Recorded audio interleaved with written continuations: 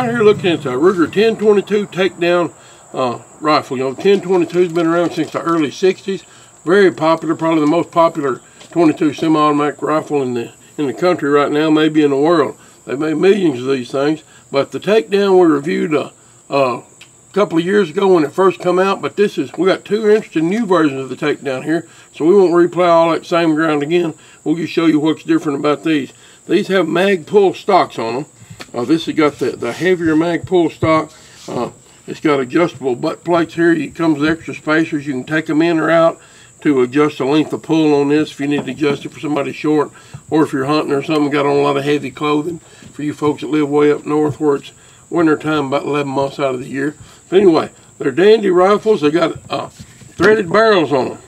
The muzzle's threaded so you can uh, shoot uh, put a can on there if you want to. They've got fiber optic front sight, adjustable rear sight. Um, they're as reliable as a 1022, you know, which is about as reliable as you can get on a 22 semi-automatic rifle.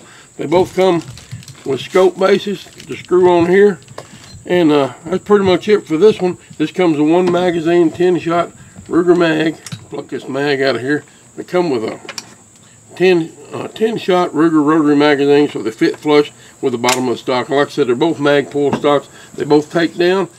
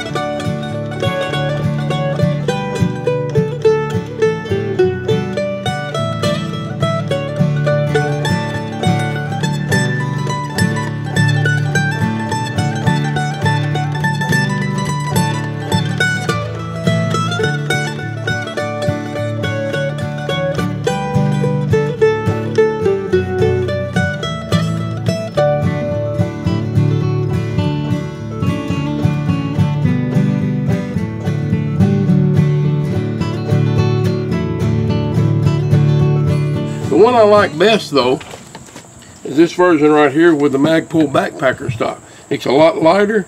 It comes with a 10 round mag here just like the other, but it also has extra magazines here in the buttstock. Holds three more loaded magazines. You got a total of 40 rounds plus one in the chamber. You can have 41 that you can carry in this gun, not much weight. Got three extra mags in here.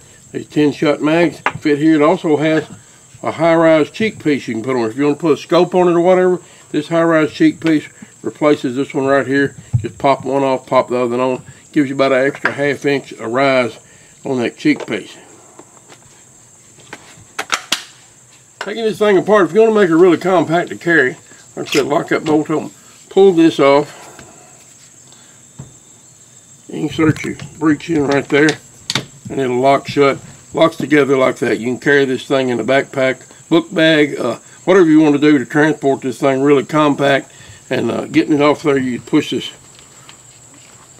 push these in on the side, pops right off, put it back in, and you're ready to go. Uh, another thing, you got some storage here in this grip cap if you want to store something small like a, whatever you might need. If you got an optic on there you need batteries for, that'd be a good place for that. You can put a few little Hershey Kisses or M&Ms in there something like that if you want to. It just pops out, you can store stuff in that grip. Anyways, the Magpul stock. Really love this backpacker stock. Like I said, this is my favorite of the two versions. Dandy little rifle, and we'll shoot it a little bit. And these are available only through uh, Davidson's or the distributor for these. So if you're a dealer does not deal with Davidson, go to galleryofgun.com, click on the Gun Genie, and you'll get prices from different dealers in your area competing for your business on these fine 1022s. MSRP on these is uh, $549 on each gun, uh, but you can buy it for less than that. Click on the Gun Genie and you'll get prices from the different dealers. Uh, total cost, taxes, government extortion fees, everything it'll cost you to buy this rifle from uh, galleryofguns.com.